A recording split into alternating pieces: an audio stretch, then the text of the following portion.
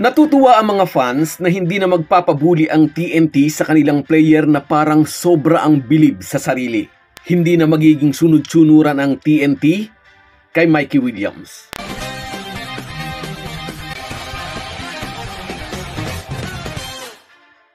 Mga ka-Republic, pag-usapan natin itong si Mikey Williams, ang Rookie of the Year ng PBA Season 46, ang PIL-am player ng Talk and Text na naging haligi nila upang masungkit ang All-Filipino Cup title last year. Kung ikaw ay isang tunay na basketball fan, masaya ka na makakita ng isang magaling na player, lalo na kung ang player na ito ay naglalaro para sa paborito mong team. Maraming naging fans itong si Mikey Williams, magaling naman talaga ang komento nga ni Homer Saison sa kanyang kolumn sa spin.ph, kung wala si Williams ay hindi magcha-champion ang TNT. Kung suswertihin daw ang tropang giga pwedeng makarating sa playoffs hanggang semis, pero without Mikey Williams, malabong mag-champion. At siguro may nagbulong nito kay Mikey Williams usad diyang alam nito, kaya lumaki ang ulo. Kaya nagkaroon ng hydrocephalus. Kung sa bagay mga idol, noon pa mang una ay nakitaan na si Williams na mga sintomas na darating ang araw na magdadala ito ng malaking problema sa team ng Talk and Text. Kung inyong natatandaan, hindi agad ito mapaperma ng Talk and Text sa kontrata at hindi manalalagay sa mga news alam ng lahat na marami itong dinidemand.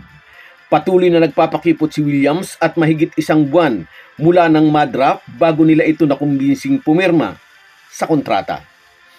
Sa aking palagay, sa una pa lang ay may pagkakamali na rin ang talk and text management.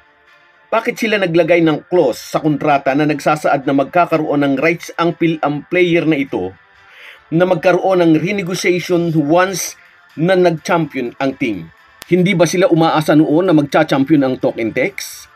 Galing kasi sa isang malaking problema ang team nila ng panahong iyon. Nagmarakulyo si Bobby Ray Farks Jr. at ayaw nang maglaro para sa kanilang team Pinalitan din ang coach, pinabalik si coach Chot Reyes. Hindi nila akalain na sa kung anong swerte nag-champion nga sila sa All Filipino Cup. Kaya ito na ngayon ang problema. Gustong i-exercise ng kampo ni Mikey Williams ang contract clause na nakalagay sa kontrata nito. Pero dapat ding isipin ng kampo ni Mikey Williams ang contract clause na nagsasabing pwedeng mag-renegotiate ng contract, hindi into guarantee na masusunod ang mga kapritsyo ng mayabang na PhilAm. Alalahanin na ang kontrata ay isang kasulatan na pinagkasunduan ng magkabilang panig. Hindi isang panig lang. Hindi lang panig ni Mikey Williams. May balibalitang humihingi raw si Williams ng 1.2 million pesos a month. Nag-alok naman ang talk and text ng 1 million pesos a month. Di umano tumaas sa 1.6 ang demand ni Williams. Tulad dito ng kwentong ibinigay mo ang isang palad mo, aba, buong braso mo na ang gustong kuhanin. Maliwanag na kasupangan, ang taong swapang ay walang hiya. Namihasa si Williams na bulihin ang kanyang team. May mga nagsasabi, karma raw ito sa talk and text. Kung tutuusin daw ay hindi naman talaga para sa kanila si Mikey Williams. Pagmamay-ari daw dapat ng NLEX ni Coach Yengyao ang pick number 4 sa rookie draft.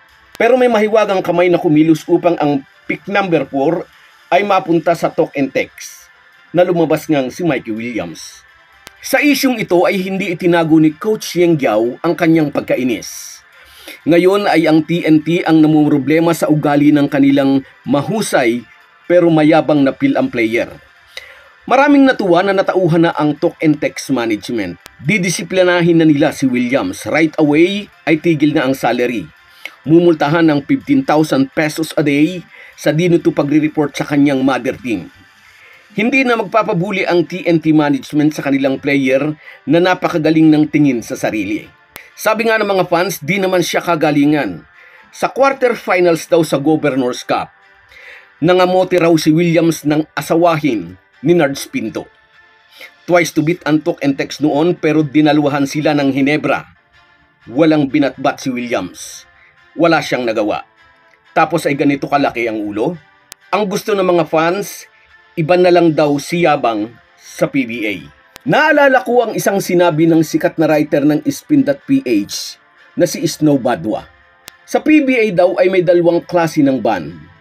Ang isang ban ay yung opisyal at iniaanunsyo sa media. ang isa pa'y ang silent ban.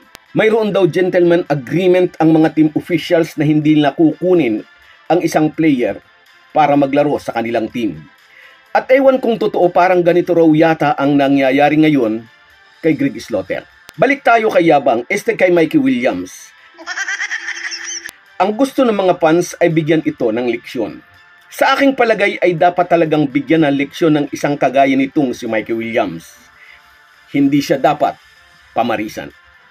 So yan lamang po mga idol. Kung nagustuhan ninyo ang ating video, please like and subscribe at ishare nyo na rin bilang suporta sa ating YouTube channel.